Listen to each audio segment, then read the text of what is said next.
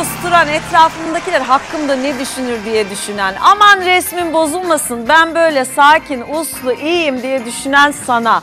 Aslında söylenebilecek en güzel söz söyleyeyim şahane bir oyuncu konuğum var. Bana iyi gelen sana çok iyi gelecek bunu garanti ediyorum. Ne hangi cümle peşinden gittiğimizde diye soracak olursan bir türlü cümleleri birbirine tamamlayamayan ve bir araya getiremeyen bugünkü sunucum benden sana günün sözü gelsin. Kahkahasız geçen bir gün harcanmış bir gündür. Charlie Chaplin, hastasıyım kendisinin. Kahkaha meraklıları, içindeki kahkahayı bastıran sen. Canım Nursel Kösem gelince bakayım aynı şeyi düşünebilecek misin? Bu ne güzellik. Bu ne? Ceyda. Bu ne hoşluk. Hoş Sen de öyle. Hayırlı uğurlu olsun. Teşekkür çok ederim. mutlu oldum. Çok güzelsin. Dedin ki Renk- ayağım bereketli. Evet. Tamam. Evet. Ya bundan sonra yok Beş yok. yıl. 5 yıl. 10 yıl. Ne kadar istiyorsan. Valla 8 yıl en az burada olmak isteyebilirim. Tamam. Buradayız. 8 yıl içinde birkaç kere gelirim ben de. Her zaman. Kontrole geliyorum. Tebrik ediyorum şimdiden. Teşekkür Şahane ederim. bir şeyle geldin. Oturmadan alabilir miyim? Sana Beşinci kitabımı kan. kilirdim. Gücün de sırrında kanında. Yes. Wow. Çok merak Çok yeni, ettim. çok taze. Tamam. Bir buçuk aylık bir kitabımla. Bir buçuk aylık. Evet. Kaçıncı Temmuz'da. kitabın? Bu üçüncü kitabım ama ilk romanım. İlk roman. Diğerleri nasıldı? Ee, ilki e, Türkçe Almanca şiir kitabıydı Almanya'da çıkmıştı. İkincisi Soytarı Özgürlüğü diye böyle komedi oyunculuğu e, biyografisi gibi bir şeydi. Anekdotlardan mizahi bir kitaptı. Üçüncüsü Beşinci Kan ilk çocuğum diyeyim yani roman olarak. Gerilim. Merak ediyorum. Evet, Gerilim. Gerilim komik değil. polisiye. Evet hiç komik değil. Hiç komik değil. Hiç. Gerilim polisiye macera e, kitabı. Üstünde gördüğün gibi beşinci kan. Hani dört tane kanımız var. 44'e yakında sistemleri var ama beşinci kan hala yok. Ama benim kahramanlarım beşinci kanı buluyorlar. İnsanlığın kurtuluşu. Yani beşinci kan demek e, kutsal kan, altın kan. insanın ömrünü uzatıyor. Bağışıklık sistemini muhteşem yapıyor. Hastalıkları yok ediyor bu dünyadan filan diye. Böyle bir kitap. Şimdi oturup seninle ödülden ödüle koştuğun kısa zamanda bu kadın çok iyi oyuncu dedirten kariyerini konuşmayacağım. Evet onu herkes biliyor artık. Hayatımıza çok geç girdin aslında bir yandan da ama o geç kalmışlığın acısını bayağı çıkarttın her alanda sinemada da tiyatroda da televizyonda da ve adı- yani elini dokundurduğun tüm karakterlerden hemen hemen ödülle çıktın. Zaten bunu artık oturup konuşacak değiliz. Tamam. Şimdi şunu sevdim. Niye e, bu sözü seçtik Charlie Chaplin'den? Kahkahasız geçen gün harcanmış bir gün müdür? Kesinlikle. Kesinlikle. düşünüyorsun? Gülmek çok önemli. Yani insanları güldürmek ya benim mesela çok sevdiğim bir şey. Çok zevkle yaptığım bir şey. İşte sahnede stand up kabare çünkü insanları güldürmeyi çok seviyorum. Gülmek çok önemli. Hani böyle gönülden bir kahkaha bir kilo pirzola gibi filan mış yani. Bence daha fazlası. Evet, bir, bir buçuk diyelim. Yani e, pirzola yiyemiyoruz bu aralar. Çok zor. Yiyemeyeceğiz Yiyemeyeceğiz ama gülelim. Gülmek çok önemli. İnsanların böyle içinde güller açıyor. Gülmek üstüne ya. Yani kafamızda, beynimizde mutluluk hormonları salgılıyoruz ve bambaşka bir insan oluyoruz. Gülebilmek çok güzel. Bir kitabının arkasında, e, daha doğrusu Soytarı Özgürlüğü kitabının arkasında. Dünya bir karnaval yerine dönüşsün isteyenler içindeki soytarının şarkı söylemesine izin verir demişsin. Ben olsam bunu da hayatımın mottolarından biri yapardım. Dünyayı bir karnaval yerine dönüşsün isteyenler içindeki soytarının şarkı söylemesine izin verir. Sık sık izin verir misin? Ee, veririm. Ee, hani hep içimizdeki çocuğu keşfedelim diye bir e, felsefe var ya. Evet. Ben de oyuncu olarak hele de komedi oyunculuğunda içindeki soytarıyı keşfetmek zorundasından yola çıktım. Çünkü içimizdeki soytarıyı ortaya çıkaramazsak e, ne komediyi doğru dürüst yapabiliyoruz ne oyunculuğu yapabiliyoruz. Yani içindeki soytarı nedir? Ya işte utanmaktan, çevre baskısından, el ne der, başkası ne der, aa komik mi olacağım, çirkin mi olacağım duygularından kurtulmanın yolu içindeki soytarıyı, özgürlüğü açmak yani. O anlamda da e, işinde çok daha rahat olabiliyorsun. Çok e, daha baskısız oluyorsun. Ruhen rahat oluyorsun. Bir Ve oyuncu olarak. böylece mi iyi oyuncu oluyorsun? Çünkü hayatını tanımlarken de çok acayip bir şey söylemişsin. Ee, saç spreyi reklamlarına konu olacak kadar hareketli ve parlak. hani var ya böyle bir saç Şampuan reklamları. Yok saç spreyi. Sabah Özellikle Paris. saç spreyi. Evet tabii. Neden? Sabah Paris saç bozulmadı. Öğleden sonra işte Milano kahvaltı, öğlen yemeği saç bozulmadı. Akşam Berlin böyle uçan bir kadının şeyini gösteriyor. Saç hep aynı çünkü spreyli. Ben de yani sabah burada, öğlen burada, akşam burada gibi hayatımın hızını anlatmak için böyle bir şey terim kullanmıştım. Ama çocukluktan başlamış zaten senin durmayacağın hikayesi yani. Malatya'da doğdun öyle Evet, mi? evet. Ve yedi kardeş. Yedi Bu ne kardeş. demek ya yedi kardeş? Na, ne yaptın? Yarı Nasıl futbol sesini takımı. duyurdun? en küçükleriydim, küçüklerden biriydim. Tabii ki e, küçüklerin bence şöyle bir şansı var. Büyükler bütün badirelerden geçiyor. Anneyi, babayı, çevreyi biraz yumuşatıyorlar, önümüzü açıyorlar. Biz daha rahat koşanlar, daha rahat edenlerdendik. O anlamda e, ablalarım, abilerim hep önümde çok güzel örnekler oldular. İşte müzik çalınır bizim ailede herkesin herkes bir mü- müzik enstrümanı bilir, kitaplar okunur, kitaplar yazılır, şiir çok önemlidir. Edebiyatın, şarkı söylemenin, bir arada olmanın keyfini hep e, ailece çok güzel yaşıyorduk kardeşler Hangi arası. şarkının tınıları var kulağında çocukluğunda? Çocukluğumda e, bir sürü sanat müziği var. Çünkü ablam e, şey çalardı, akordeon çalar ve bütün sanat müziğini. Biz de ya ben bütün şarkıları bilirim. Şarkılar, türküler. Gerçekten. Her şeyi bilirim ama Allah bana ses vermemiş. Şarkıcı olmak isterdim. Aa. Sesim iyi değil. Ee, o yüzden hani hep şeyde büyüdük ya Türk filmleriyle, bütün Türk filmlerinde Yeşilçam'da şeydir yani başrol oyuncusu aynı zamanda şarkıcıdır ya. Hep böyle elimde fön, e, işte fırça, mikrofon gibi giyinir süslenir şarkıcı olmak isterdim. Olmadı ama Hangi şarkı yani kulağında? Bir şarkısın sen. Yani bütün o eskiden şu anda aklıma gelmiyor ama bütün böyle potpori gibi arka arkaya. e, Peki en çok kimin söylerim. sesi aileden? Ablamın.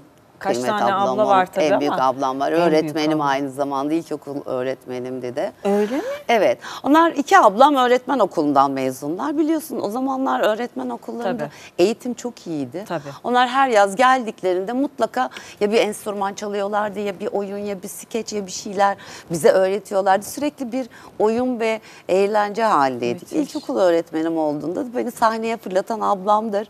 O zamanlar böyle işte müsamerelerde küçük küçük oyunlar, tiyatrolar, danslar falan yapıyorduk. Sahneyi daha küçükken onun sayesinde tanımış Sonra ne oldum. oldu? Malatya'da ne kadar kaldı? Liseyi bitirdim Malatya'da. Ha, bayağı orada büyüdün. Büyüdüm. Yani işte o- 17 yaşına kadar. Tamam. Sonra? Sonra e, üniversiteyi okumak için Almanya'ya gittim. Ablam benden önce öğretmen olarak gitmişti ablam, Ha, ablaları. önce oldu birisi. Onlar Yani Çünkü önce Almanya oldular. nereden? Evet. Hani e, işçi ailesi olarak gitmedik. Ablamın e, üzerinden gittik. O yüzden de biraz sıkıntılar oldu. Şöyle oldu yani işçi ailesi olarak orada doğsan, büyüsen ya da Tabii. gitsen daha rahat oluyorsun. Ama biz öğre- ben özel öğrenci olarak gittim. O yüzden biraz e, bürokratik engellerle karşı okulum bitti, okul bittikten sonra üniversite. Ben mimarlık okudum. Evet mimarsın Yüksek aslında. mimar mühendisim. Tabii okudum ve o branşta da çalıştım. Çünkü bir üniversite bir bölüm bitirmek şarttı orada Tamam. kalabilmek için. Mimar olarak kaldım, okulu bitirdim, çalıştım. Ama hep paralelinde tiyatroyla uğraştım. Tiyatroyla Almanya'da? sanat- Almanya'da. Peki şimdi lisede gittin Almanca bilmeden gittin. Şimdi Bilmeden. orada büyüyüp Almanca öğrensen başka bir şey de liseye gidip orada üniversitede bir şekilde Almanca öğrenip bir de Türkçe tiyatro yaptın o zaman. Öyle mi? Türkçe, oldu? Almanca yaptım. Türkçe'de Türk e, bir tiyatronun kuruluşuna sebep oldum. Kurucularındanım. Ee, Yıllarca e, Türk tiyatrolarında oynadım ama Alman tiyatrolarında da oynadım. Hiç orayı Peki ihmal nasıl etmedim. oldu yani liseden sonra öğrendiğin Almancayla tiyatro başka bir şey ya. Evet. Nasıl oldu o iş? Şöyle oldu dermişim.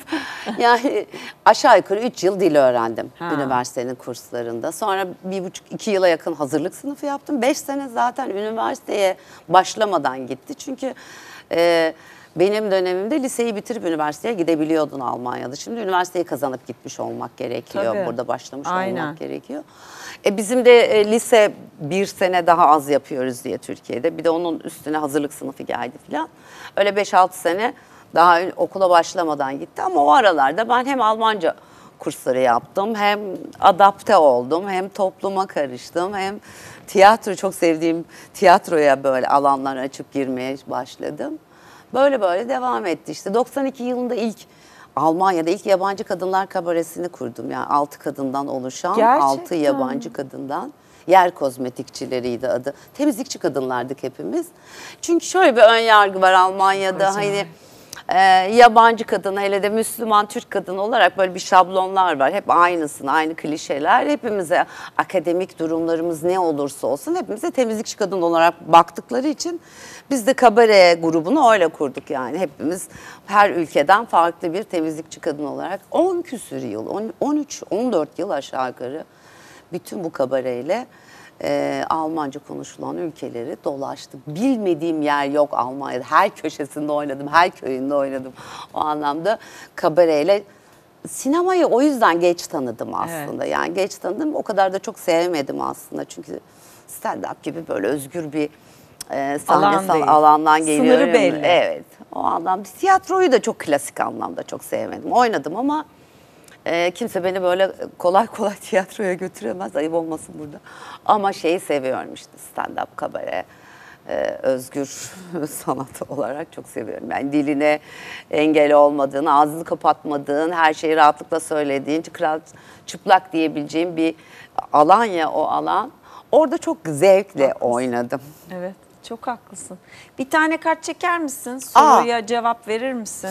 Dur Merak bakayım. ediyorum ne seçeceksin ve nasıl bir soru çıkacak sana. Ya yeşil böyle beni çekiyor ama Allah Allah sanki ne var arkadaşlar bu Kırmızı yeşilde? alacağım. Bak dedim.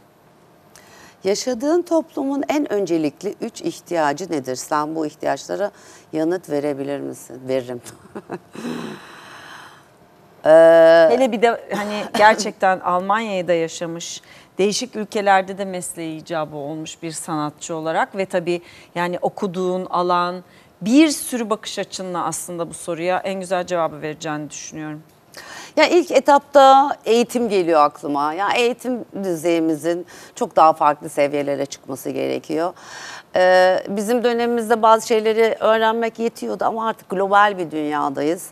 Ee, eğitim e, ve bilgiyi saklamak mümkün değil. Bilgiyi herkesin paylaşması gerekiyor. Ya bu global dünyada hepimiz aynı kafada olmamız gerekiyor. Doğaya olan e, e, dikkatimiz, e, Özenimiz. özenimiz aynı olması gerekiyor. Yani ben burada çöplerimi ayırıyorsam, işte suyun kullanımına dikkat ediyorsam, çevremizin kirlenmemesine dikkat ediyorsam dünyanın öbür ucunda başka birisinin de bunu yapması lazım. Hep beraber. Yani dünyanın genel içinde yaşadığımız dünya genel problemi işte çevre kirliliği, e, global ısınmalar. Yani Bilgi diyorum, bilgi, eğitim çok önemli burada. İkincisi çevre duyarlılığı, onu da söylemek istiyorum. Çevre duyarlılığı, içinde yaşadığımız, nefes aldığımız, suyunu içtiğimiz çevrede başka bir duyarlılık istiyor. Başka bir eğitim istiyor. Çöpleri sokağa atmamaktan, pet şişeleri savurmamaktan, kapının önünü süpürüp o tarafa atmaktan. Bunlar çok küçük şeylerden Hiç değil, bahsediyorum. küçük aslında. Ama e, şey bakmak... e, bu dünya bizim, nefes aldığımız alan bizim diye bakmak. Ama tabii toplumların özellikle gençlere ben çok önem veriyorum. Önlerinin açık olması gerekiyor. Gençlerin vizyonlara ihtiyacı var. iyi eğitimlere ihtiyacı var. Geleceği onlara teslim edeceğiz ya da etmeyeceğiz de onlar alacaklar. Ee, onlara e, sağlıklı bir yaşam alanı, toplum bırakmak zorundayız diyorum. Kesinlikle. Teşekkür ederim efendim. Peki bana soru hazırladın mı? Sana birkaç sorum var da. Hadi sor. Hazırım. Birkaç soru en sevdiğim. Birkaç soru. Sadece bir değil. Aslında şeyi çok merak ediyorum. Ya yani hani kadınlar arasında yaş sorulmaz. İnsanlara yaş sormayı da sevmiyorum ben de.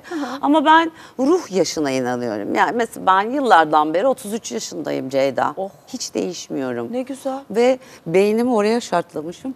O anlamda acaba senin de ruh yaşın var mı? Merak ediyorum. Bence var. Yani e, 45 yaşındayım normalde. Zaten bana kaç yaşında dedik, kaç yaşındasın diye sorunca ben böyle yapıyorum. Normalde 45 ama hissettiğim yaş hiç o değil yani. 45 hissetmiyorum tabii.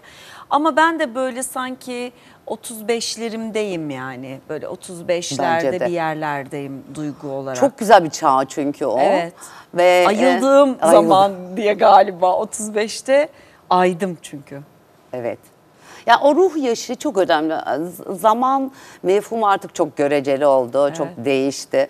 Yani ı, herkes için eşit akan bir zaman var ya. Sen buradan biniyorsun işte 10 saat uçuyorsun dünyanın bir yerine aynı zaman dilimi. Ben evde oturuyorum 10 saat uyuyorum gene aynı. Böyle bir, bir terslik var. Bu, bu bu olmamalı. Burada farklı birazcık da Einstein gibi bakıyorum olaylara. O yüzden de yılların hesabını o anlamda yapmıyorum ama hissettiğin şey Herkese de bunu önemli tavsiye ediyorum. Hissettiğin yaş, hissettiğin e, ruh durumu çok önemli ve insanı her zaman zinde bırak. Ama şeye girerse ama yıllar geçti yaşlandım ıı, filan. Bu şeylere, kederlere girdik mi çöküyoruz. Çökmemek- Kederin var mı? Çok şükür yok. Hiç. Yok gibi. Sıfır. Sıfır. Mı Gibi. bastırdık mı üstünü mü örttük? böyle oturup yok kederlendiğim çok önemli bir şey yok. Tabii ki e, insanlığı etki eden her şey beni de üzüyor. İşte günlük haberlerde duyduğumuz olaylar şu anda hızla yürüyen bir savaş var. İnsanlar can kaybediyor. Dünyanın bir yerinde başka bir savaş Kendi çıkıyor. hayatına dair bir kederden Kendi- bahsediyorum. evet. Zaten dünya insanı olarak kederimiz bol. Ona da Bol, yok dersen aynen. söyleyecek kelimemiz kalmaz ama kendi hayatında kederin yok mu hiç? Melankolim var biraz. Hani melankoli şiiri de zaten melankolik ruhumun sonbahar olduğu dönemlerde yazarım ama e, e, elle tutulacak bir e, şeyim yok. Çok şanslı insanım. Ben kendimi çok şanslı hissediyorum. Annem babamı çok geç kaybettim. Onlarla yaşama fırsatım oldu.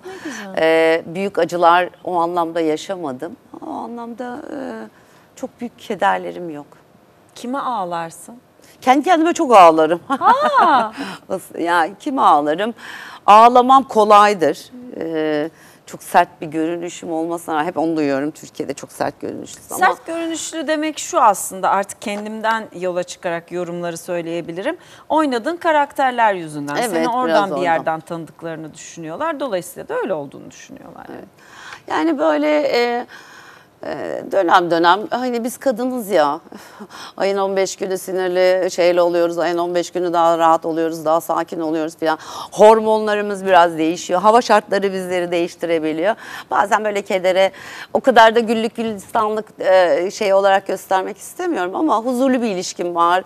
E, içinde mutlu olduğum bir e, yaşam şeklim var. İş olarak da seçme lüksüm var Hani o işi yapmam, bu rolü beğenirim, lüksünü tatmak da çok güzel. Yani e, aferin sana diyebiliyorum kendime. O yüzden çok büyük kederlerim yok maalesef. Tamam, maalesef değil. Değil mi? Tamam. Şurada bir şeyler anlatmak üzere. Burada bir beraber ağlayalım diye yok. Şu Hayır, meseleyi hiç- hatırlıyor Hiç öyle yani? bir şey değil aslında ama sadece şöyle bir şey aslında anlatmak istediğim senin sayende. Ee, üretmek, bir süre eğitim almak, farklı vizyonlardan bakabilme şansına sahip olmak, farklı ülkelerde yaşamak ve içindeki o soytarıyı ayakta tutup hayatın aslında eğlenceli bir yer olduğunu görmek ama bir yandan da kederli bir insan da olabilmek aynı zamanda. Tıpkı hani böyle güzel baharatlı bir yemek gibi Ee, onu söylemeye çalışıyorum aslında. Öyle. Ama zaten kederin olması oyunculuk kısmının çok çıkabil çünkü bence e, oyunculuk kederle de beslenen bir şey ki şiirde yazıyorsun kendi e, tabirinle o da biraz kederden besleniyor. Yani mela- bir de hani iç- bu- biz bu toplumda büyüdük çok böyle acıyı severiz ya hani Evet. hep şey derler akrep burcudur Türkiye acının Evet. kederin. E bütün şa- ben mesela e, çok şarkı söylerdim şarkı Türkiye'de söylerdim. Bir ara böyle bir kafa yordum. Söylediğim her şey bir ya bir beddua dilerim Tanrı'dan gülmesin yüzün işte ya ölürsün ya benimsin. Bütün e, şarkılarımız türkülerimiz kederli aşk, mutsuz aşk, öldüren aşk. Mesela ben bu acılı aşktan çok uzaklaştırdım kendimi. Ben acılı aşk yaşamak istemiyorum dedim. Yani e, bana acı vermesin, ben kimseye acı vermeyeyim. E, mutlu niye? Yani niye mutlu aşk yok? Hep filmlerde de bu verilmiş ya romanlarda, kitaplarda, edebiyatta.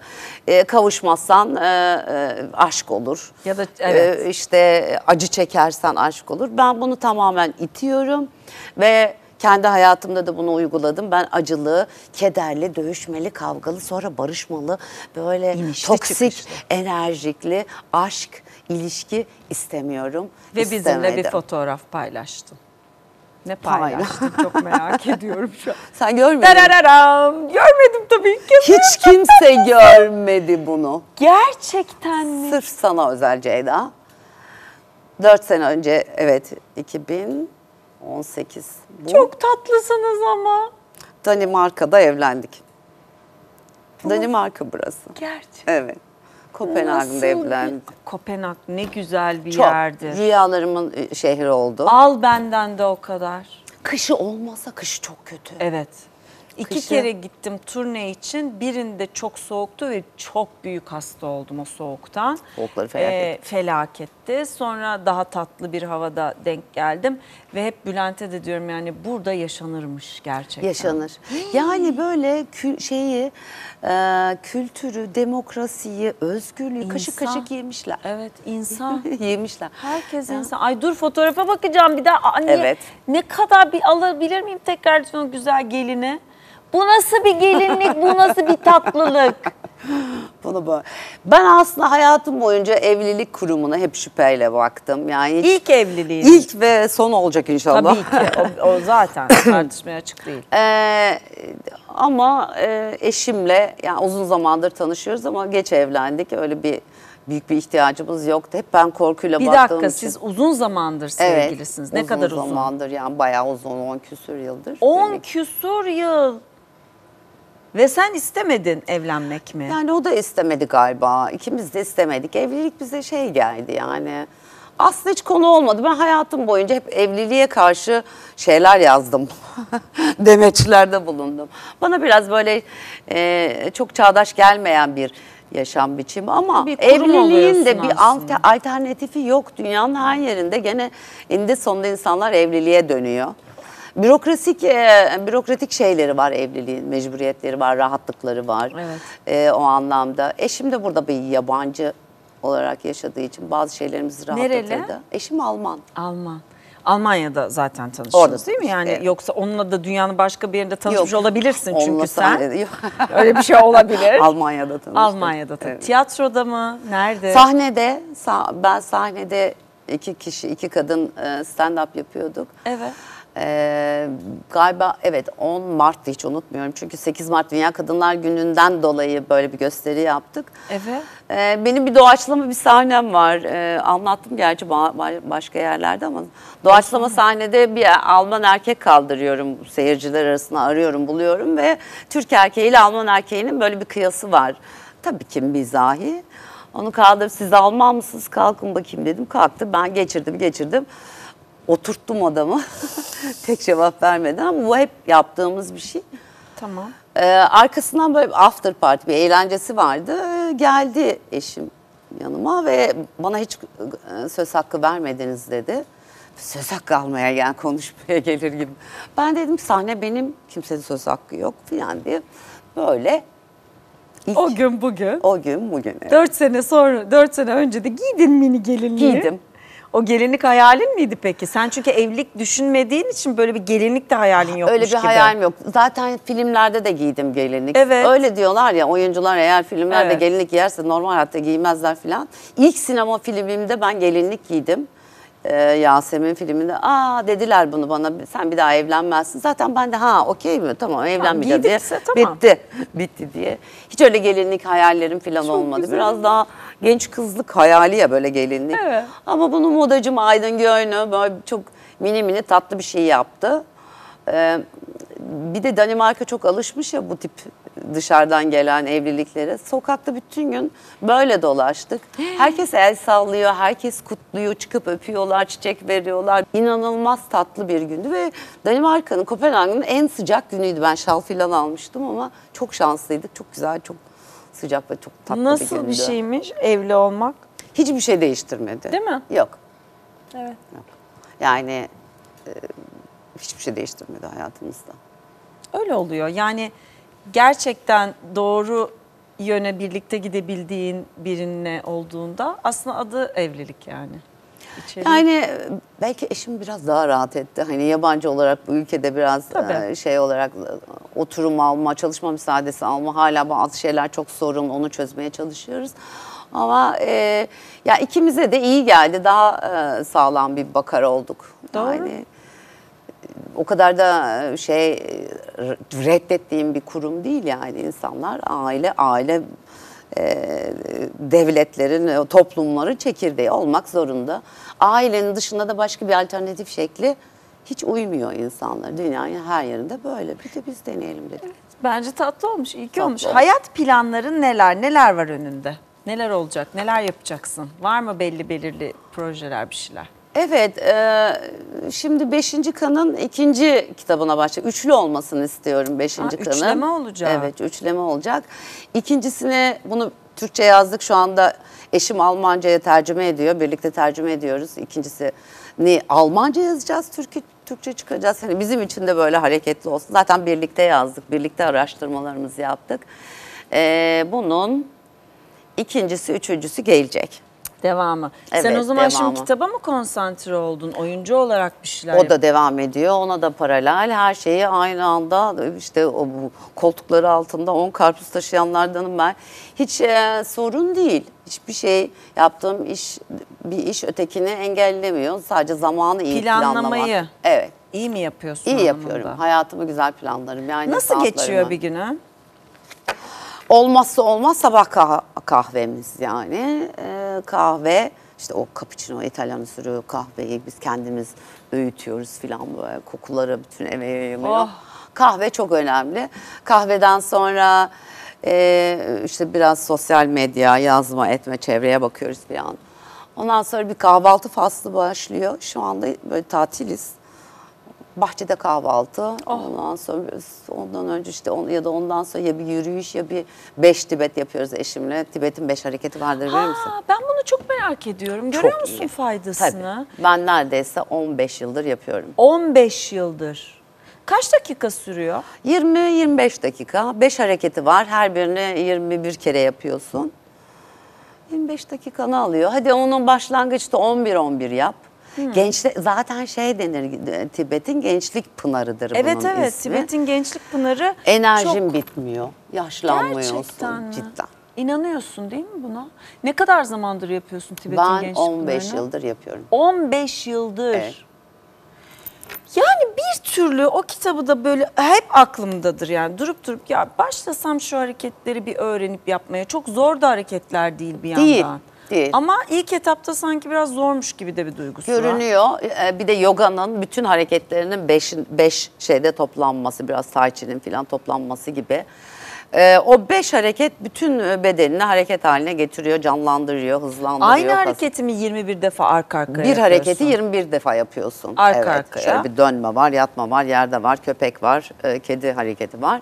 Beş tane hareket var. Onları yapıyorsun. Onları yapıyorum. Sonra Bir ara böyle tai chi falan yaptım. O işte böyle parklara falan da gidip yapıyorduk falan. Ama evde beş tibe çok rahat. E bir de bizim oralarda küçük böyle yeşil alanlarımız var. Yürüyorum, çok yürüyorum. Yürümeyi çok seviyorum. Koşma değil ama yürümeyi çok seviyorum. Bir de işte kan grubuma göre besleniyorum. Aa, tip top oluyor. Kan grubun kan ne? grubum sıfır RH pozitif. ne, ne yapmış oluyorsun? Yani e, insanlara yanlış örnek olmayalım. Reçete vermek gibi olmasın ama kan grubu... şey Sertap Erener'den ben ilk duymuştum bunu yıllar önce kan grubuna göre beslenme. Hatta kitabı da var. Ama mesela sıfır grubu bildiğin için ve beslendiğin için yani var olan bir şey bunu şu anda senden duymuş değilim. Hı hı, o değil. yüzden rahatlıkla Tabii, tabii. e, söyleyebilirsin. Ne yasak mesela? Mesela beşinci kanın oluşmasının sebebi buydu. Ben yıllardan beri kan grubum üzerine e, kan grubumdan e, kan besleniyorum. Ona göre ona, ona göre besleniyorum. Dikkat ediyorum ve bana çok faydasının olduğunu gördüm. Zindelik, enerjik olma, yorulmama. Yanlış bir şey yediğinde yoruluyorsun, çöküyorsun. Hep yemekten sonra uykunun gelmemesi lazım, yıkılmaman Hmm. lazım. O zaman yanlış yediğini anlıyorsun. Doğru yediğin, kan grubuna göre beslendiğin zaman hiçbir şey, hiçbir şişlik yapmıyor, bir fazlalık gelmiyor. Çünkü e, e, vücut e, öğütebildiği, yok edebildiği ma- malzemeleri alınca enerjiye dönüştürüyor ve rahat latıyor. Peki şimdi mesela böyle bir e, beslenmeye girmeden önce bir tetkik yaptırmak, bir doktora sormak da gerekir gibi geliyor bana. Böyle bodoslamada hani hemen internete sarılıp kan grubum buymuş ne yiyeyim diye ne olur bakmayın. Evet. Hani bu evet böyle bir beslenme var. Ben de gerçekten çok merak ediyorum. Ama hani bunu önce bir tetkik bu açlık gibi aslında aralıklı yemekte de nasıl bir doktora gitmek gerekiyor. Önemli ama çok kıymetli bir şey olduğunu ben duydum. Kesinlikle. Neyi asla yemiyorsun? Sıfırda senin ne kan grubun? Benim AB. Sen en son kan grubusun, en son bulunan. Yani hem A'dan hem B'den Evet. alıyorsun. Daha rahat bir, çok yeni, çok 1500 yıllık bir kan grubun var Ceyda. Çok değil mi? Yazık bana. Az yani. Yazıklar ben olsun, insanlığın neredeyse Sen en bayağı sıfır başlangıcı tabii. değil mi sıfır? Tabii insanlığın e, yani bütün ha- hastalıkları, badireleri atlatarak gelmesini sağlayan e, e, sıfır grubudur. Ondan sonra Ne yiyemiyorsun? e, yani kırmızı et haftanın 7 günü yemem gerekiyor. Beyaz et yemiyorum. Yoğurt, süt, ayran, süt yo- süt mahsulleri iyi gelmiyor. Onlar hemen şişiriyor. Ama haftanın 7 günü ette Yenmez normal tabii değil ki de yani. ama onun yerine bitki yiyorsun. Yani bitki, Ha. yeşillik, e, yeşillik çok şeydir hiç ayrılmaz sofralarım. Meyvelerim, salatalarım yani sebze, meyve çok ağırlıklı. Hmm. E, kan grubuma uygun ekmek yiyorum, çavdar yiyorum mesela. Çavdar mı sana Kendimiz uygun? yapıyoruz ekme, e, ekmeğimizi fi- filan yani. Bunun yolu yordamı var ama ben bunu cidden çok uzun vadeli bir dönem araştırdım. Neredeyse böyle tıp Çok okurmuş önemli. gibi bir şey Evet, oldum. Çok önemli. Ee, ve e, tabii ki belirli endüstriler, gıda endüstrisi ve ilaç endüstrisinin hiç e, tasvip etmediği bir şey bizim sağlıklı, sıhhatli Değil beslenmemiz. mi? Onlara işimiz düşer. Evet, her şey bizi hasta yok etmeye. etmiş oluyorsun. Aynen, bizi hasta etmeye ve ilaç kullandırmaya yönelik olduğu için e, tıp da biraz karşı çıkabiliyor ama kan grupsuz hiçbir tahlil mümkün değil ki. Yani bir damla kanınızı verirsiniz, secereniz dökülüyor. Can sıvımız bütün organlara giden otoban gibi ya hani her yerde o var. O anlamda da kan grubuna göre beslenmenin de hiç mantıksız bir şey olduğunu düşünmüyorum. Ya bir de ben her zaman şunu söylüyorum. Bir şey ne yani ne iyi geliyorsa o doğru. Şahsa yönelik bir şeyden bahsediyorum. Ve bu bu yani sen buna plasebo da diyebilirsin, yaşam biçimi de diyebilirsin, hayat görüşü de diyebilirsin. Bu senin hayatın sana iyi geliyorsa senin doğrun budur. Evet. Senin için bir sayfam var. Tabii ki bugünkü mottomuz kahkahasız geçen bir gün harcanmış bir gündür. Kesinlikle. cümlemizi Dur ben bir de güleyim. ekledik. Ama hadi ha hadi oraya da noktayı koyayım. Ama gene de sayfanın son satırlarını senin yazmanı, e, kendi sayfanı kendin tamamlamanı istiyorum. Ay. E, yani aslında tabii yazar olduğun için daha kolay bir deyim e, kullanmam gerekirse kendi kitabının finalini sen yaz istiyorum. Ama ondan önce de güzel bir fotoğrafımızı da çekmek istiyorum seninle beraber. Ana olsun hayata. Nasıl istersin? Böyle güzel mi? Ya da şöyle de yapabilirim. bu Bak bu, ışık da tatlı güzel, bu oluyor. güzel, evet, ve tatlı bu oldu. stüdyo ışığımız Şöyle değişik bir ışık. Şöyle bir şey. Nasıl? Güzel. Beğendim.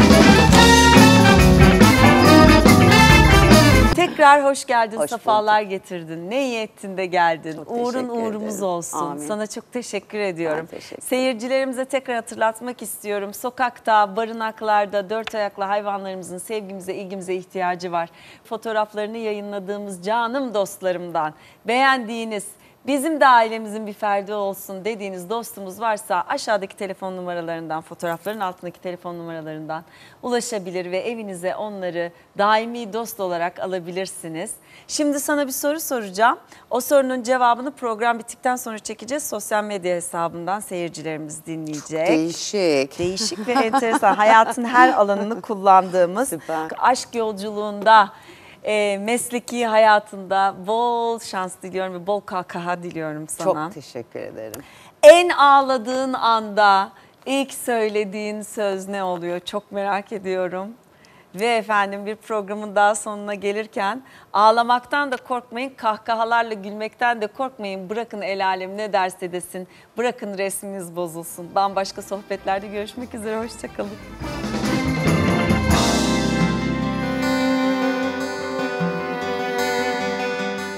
Yaşadığını kalbinde yaşayıp hakkını vermiş şahane kadın Nursel Köse konuğumdu.